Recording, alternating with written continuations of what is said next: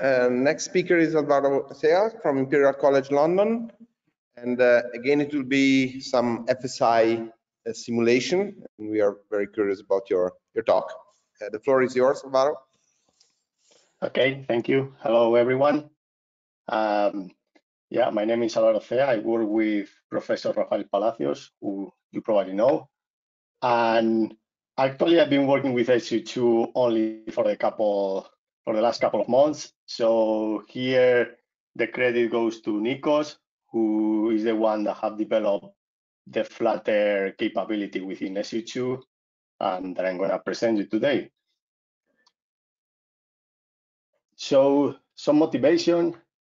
So the goal of this work is to investigate robust computational methods for accurate and efficient prediction of elastic instabilities, mainly wings and aircraft operating in the transonic regime um, and to move from the potential flow and steady aerodynamics, which has been historically the way to model these, these problems into a higher fidelity framework, which may be critical also for high aspect ratio morphing designs. Um, some background and methodology. Uh, Flutter is a linear dynamic instability of the coupled system. So a flexible airframe and the surrounding fluid. And it is defined by neutrally stable oscillations of the wing. In terms of modeling the structure, it is very convenient to use the natural modes for simplification. And we can use the harmonic balance to directly find this flutter point, which is very convenient because it's, it's highly numerically efficient and the flutter sensitivities also can be obtained for parametric designs, although it does not lead to a traditional industrial elastic methodology, let's say. So alternative, we have also developed uh, gener generalized aerodynamic forces matrices, leveraging the harmonic balance method, from which standard elastic methods can be used. And moreover, we show here that we can build an elastic state space system, which are suitable for control design and flutter suppression.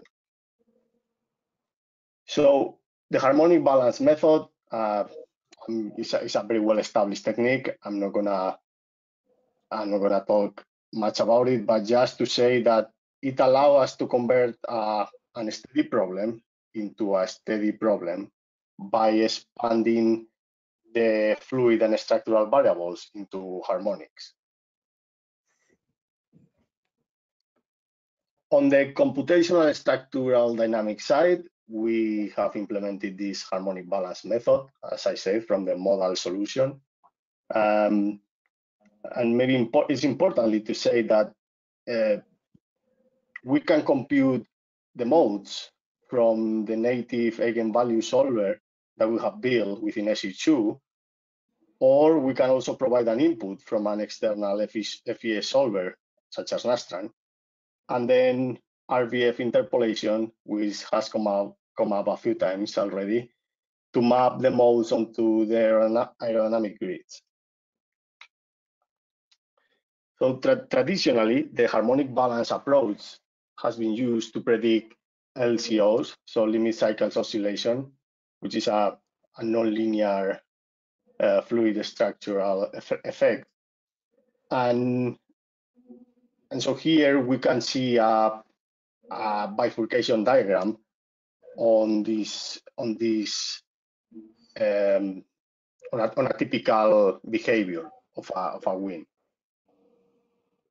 Now we want to use it for a direct calculation of the flutter stability. So we start from an initial guess and update the frequency and the velocity. We need to simultaneously converge the flow solution, the structural deformation, the flutter velocity, and the frequency of the harmonic elastic response. And for that, we need to impose additional constraints on the phase of the harmonics and also on the amplitude to fix a unique solution of the flutter point. As you can see, we need to drive that red point into the exactly the, the, the flutter point, which is going to happen when we have very small oscillations. Now, to impose these constraints, we do it by minimizing a figure of merit based on the structural residual. And a schematic of, of this approach within the SU2 implementation um, can be see, can be seen here. So we initialize the CFD, the CSD solvers. We perform an RBF interpolation. We get the aerodynamic forces, Mars the structural dynamics one step, then impose the phase and amplitude constraints. And then on one hand, we update the flutter velocity and the inlet conditions, very important. And on the other, other hand, we need to deform the CFD grids, calculate the grid velocities. We take the CFD solutions of the, st the steady CFD solutions of the harmonic balance. So we update the frequency and then we repeat the loop until convergence. Now, maybe more interesting is what we call nonlinear flutter. So it's when the equilibrium of the wind uh, is around a nonlinear equilibrium, basically. So we need to introduce this extra extra points where we calculate the forces, we calculate the, the, the displacement at the equilibrium. We also need to update the structural modes and the natural frequencies. And from this updating, we repeat the loop. Um, that's why it's called nonlinear flutter. So the methodology is basically the same, but we need to do this updating within the loop. Now, as, as we said before, this is not common in industrial practice. So we have developed more usual methods through generalized aerodynamic forces, also using the harmonic balance solver. So basically computing the pressures for each harmonic, projecting into the modes, and getting these, these GAFs. Now, what we can do with these GAFs the, is develop sampling-based methods where we sample these GAFs at different reduced frequencies. And now together with the structural description, we get in the frequency domain as uh, an equation like this, which we can solve with different methods. One very popular one is the PK method. And but this is, is important to say that this only this is only accurate exactly at the flat, flutter point. So it's good for flutter, but there is no much we can do with it. So probably a more elegant solution and more useful is this rational interpolation flutter algorithm. Um, please don't even look at the right-hand side. These are the, the magic mathematics. But the takeaway is that we can we can basically produce a linear time invariant uh, system. So it's a realization of aerodynamics. And with this state space system, uh, we can also build a state space system of the structural model, then couple it with the transfer function. And so we have a state space elastic system from which we can easily calculate the stability features from the eigenvalues, but we can also do control design and therefore flutter suppression. And this is coming coming now on a paper by Nikos where all these mathematics will be will be explained. So some numerical results. Here for the validation, a canonical, a canonical, canonical case, the AGARD 445. Um, you can see here the pressure distributions. And so one step is to, to take the model shapes, which in this case come from Nastran, and interpolate this, struct, this structural model into the into the aerodynamics from for which we use the RBF and it works very nicely as you can see on the frequency and flutter results here comparing against experiments and against literature.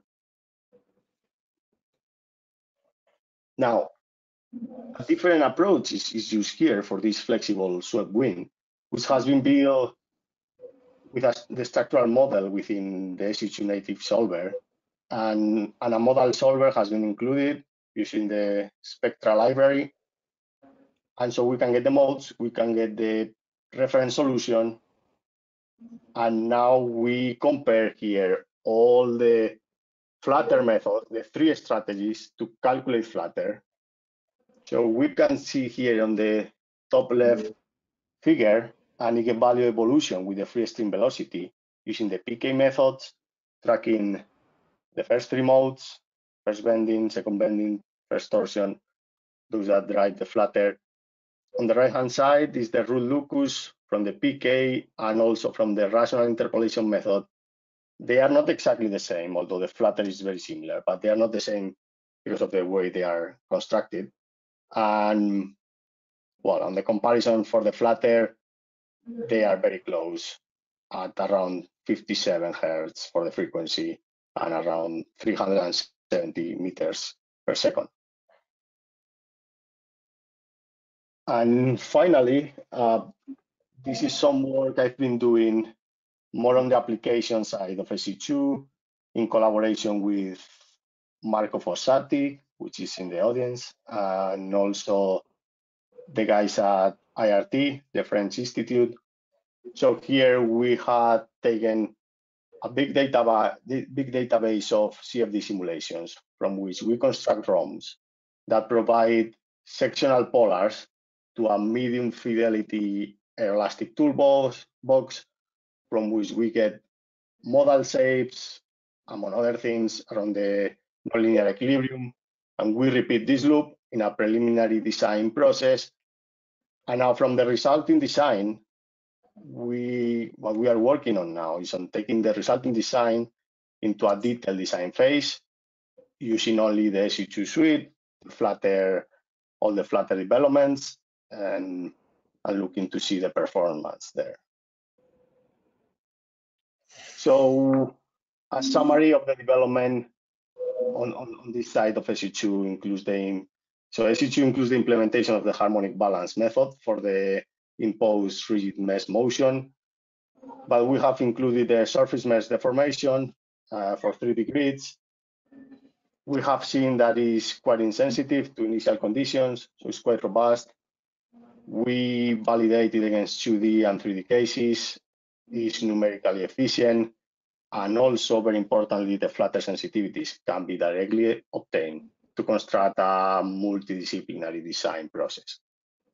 Now we have also been looking at the modifications to account for structural geometrical nonlinearities, which need to update the modal shapes, the frequencies, so that needs to be within the, the SU2 structural solver. And this was found that it was very important to take into account the volumetric mesh deformation at each HB instance when calculating the source terms. And we have put two possibilities for the grid velocities through the HB operator or through the boundary displacements using the mesh deformation solver. We also build the extraction, the extraction of the GAFs for the different methods for Flutter. And we are currently applying all this into the design of the strut brace wing And yeah, that's the end of the presentation. Any questions? Thank you, Alvaro. Thank you. There are any questions from the, the audience uh, or online?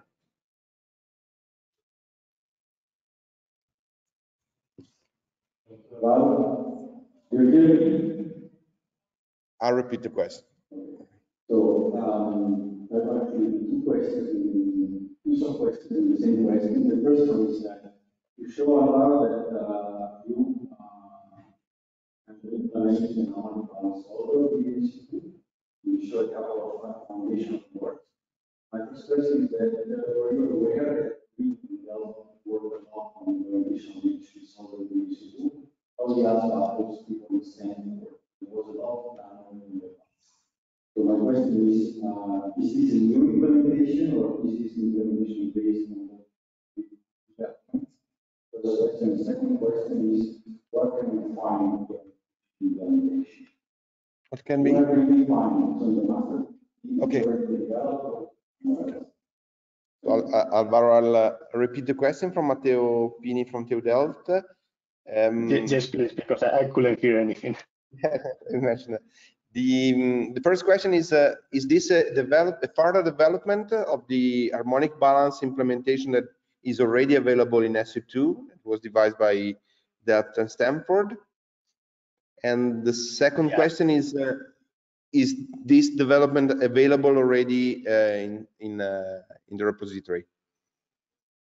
Okay, so to the first question, yeah, this is a further further development. So as far as I as I understood, uh, initially only 2D for the flutter calculation could be could be used. And yeah, there, there, there were there were a lot of development in terms of the mesh, the, the deformation of the mesh, the all the structural dynamics, converting this into the harmonic balance of the structural dynamics on the um, building the the modal solution for the native structural solver. Um, basically, one of the novelties on the work is if, if you see the literature is that uh, most of these applications to the harmonic balance for the calculation of flutter is used on simple to the to the airfoils, whereas here you, you have it as to, to apply to any kind of aircraft within the SU2 suite and it, it took it took- I know it took a lot of work for for Nikos to to have it. Now, for the second question, what I've been doing in the past weeks is because Nikos didn't have it, didn't have this on on on on, on the branch. He he just took it on on SU2. So I've been creating a feature branch, and merging all his developing developments into a feature branch that hopefully at some point gets gets pulled into into into develop, but is is is is not there yet. Okay, so in, in my understanding, uh, the work uh, you did uh, is to add to the existing harmonic balance, uh, uh, say the, the mesh deformation, uh, RBF interpolation, and the modal representation of a of the structure. Yeah, that is true. Okay, Um, now it's it's. Uh, we, we as, as you can see, we I mean, Nikos needed to include source terms, uh, you know, with, within all the harmonic balance solution as as I point here for the volumetric mesh deformations in the 3D case, and yeah, there's been a, quite a few things. I, I because I wouldn't know what is the state of the code before this, so I wouldn't know how to say exactly how is this different from from what was already in SU2, but I know there's been plenty of work. Yes. Okay, thank you. Any other question? Uh, Well, in fact, I, I- I just have a quick one uh, concerning the inlet condition that you said were, uh, are critical in the in the workflow. And I'm, you made me curious. So the thing is that you you have a flutter. Okay, you, you at the end flutter is you need to calculate the, the free stream velocity at which flutter occurs.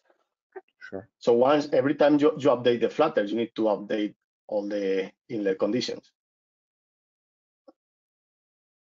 Okay, right, Because okay. it's- it's- Yes, yes, you're, of, of course, you're looking for a different velocity, so you, you change the inlet. Okay, sorry, I didn't get that.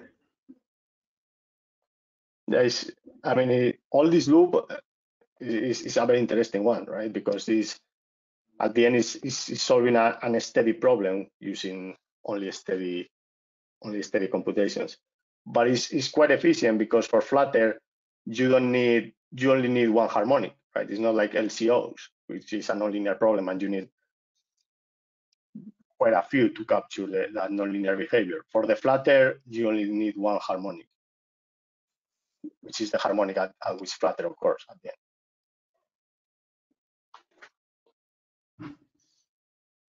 Yeah. Okay. I think we are, uh, Okay. we can thank you again, Alvaro. Thank you for this very nice contribution.